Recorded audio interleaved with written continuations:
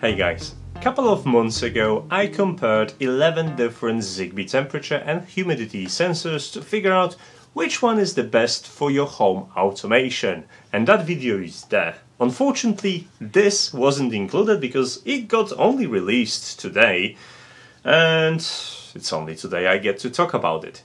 This is Sonoff SNZB02D and I'm pretty sure D stands for display.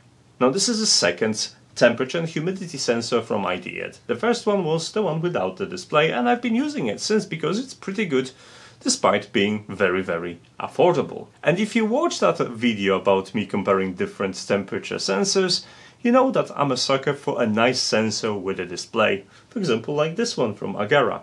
This one comes with e-ink so it's extra plus points. However, it is extremely expensive, mostly because e-inks aren't cheap. So here comes a middle ground, a Sonoff sensor, Zigbee 3.0 sensor with an LCD display. And straight out of the box it manages to impress me, mostly because how simplistic the design is, but it works so well. There is a magnetic cradle that you can attach pretty much anywhere thanks to the 3M tape.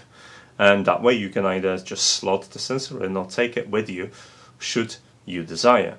And as the sensor has magnets built in, you can simply attach it to magnetic surfaces as well.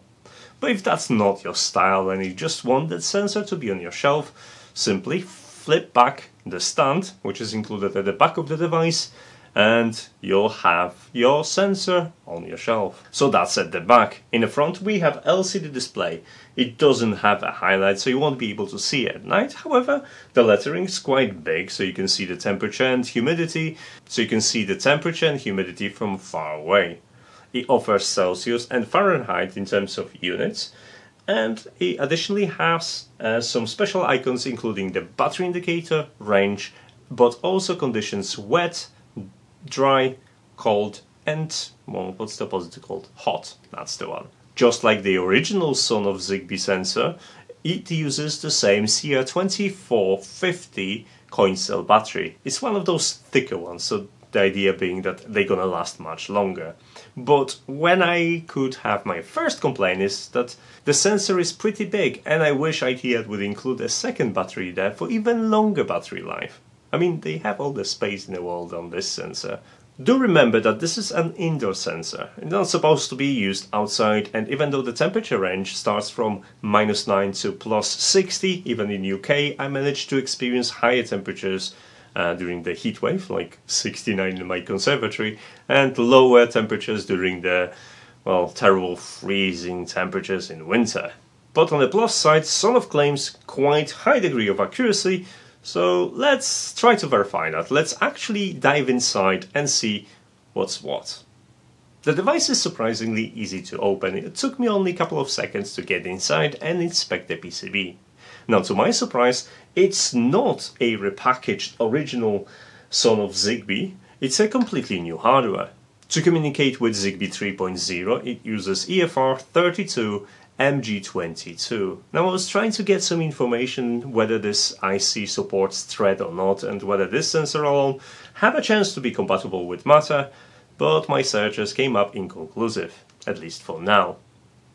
On the sensor size we have SM60 which is a pretty good sensor with accuracy of 0.2% when it comes to temperature and 2% when it comes to humidity. So that's decent. Now that we know that this is brand new hardware, let's uh, assemble it back and start testing it with eWeLink app.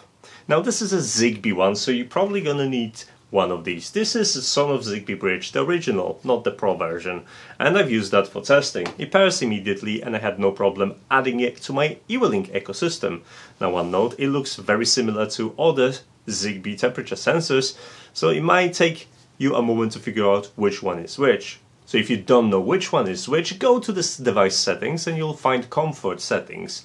Those are the settings are responsible for displaying extra icons. You can specify them manually or choose one of the presets like, for example, uh, your special settings for cigar room. I mean, I don't have a cigar room. Or wine cellar. I might, I might need to rethink my wine cellar then. Anyway, those are there for you And additionally, you can also set your limits for uh, alert and notifications, just in case you want to monitor whether it's getting too hot or too cold. Speaking of data, the current temperature and humidity is available in eWeLink app.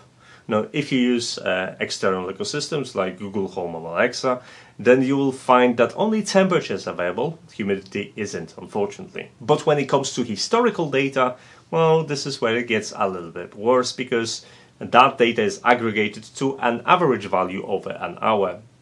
Now that hour frequency isn't enough to use that historical data for anything practical, it gives you kind of an overview what was going on during the day. But if you were hoping to use that data to figure out how your heating is working, then you'll be disappointed. There is a solution to that, as the eWeLink has API, there's a video about it here, and you could e extract the current temperature and humidity at your own interval, providing you're willing to save it yourself somewhere.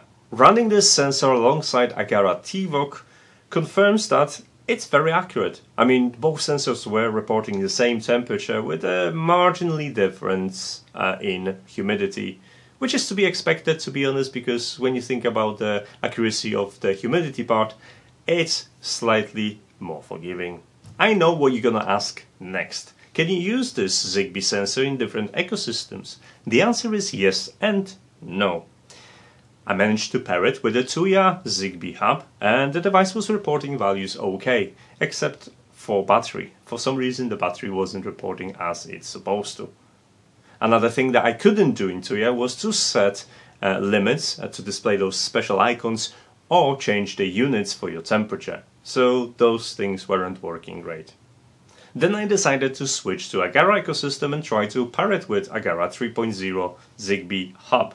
Unfortunately, the device simply refused to connect. So, yeah, your experience will highly depend on what kind of ecosystem you've got and what hardware you're running. But the best possible experience you're probably going to have with a custom coordinator, and that's what we're going to talk next. I've used it with Node-RED and ZigBee 2 MQTT because that's the best way to figure out how responsive the sensor is and provide you with a little bit more information about it. I've used my setup with Grafana and InfluxDB to chart all the temperatures over 24 hours and try to figure out what are the sensor's strength. And as this is a brand new device, it wasn't supported by default. I mean, it paired okay, but first I had to dive in into converters, find the file responsible for Sonoff devices, and add my model number to existing Sonoff because, well, let's face it, they report exactly the same thing. Once that was changed and saved, my sensor started to report the temperature and humidity okay, including link quality and battery.